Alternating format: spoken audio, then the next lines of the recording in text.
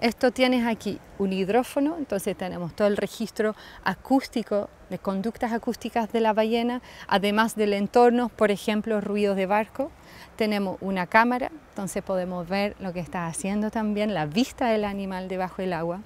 Y tenemos una serie de sensores, ¿cierto?, en tres ejes.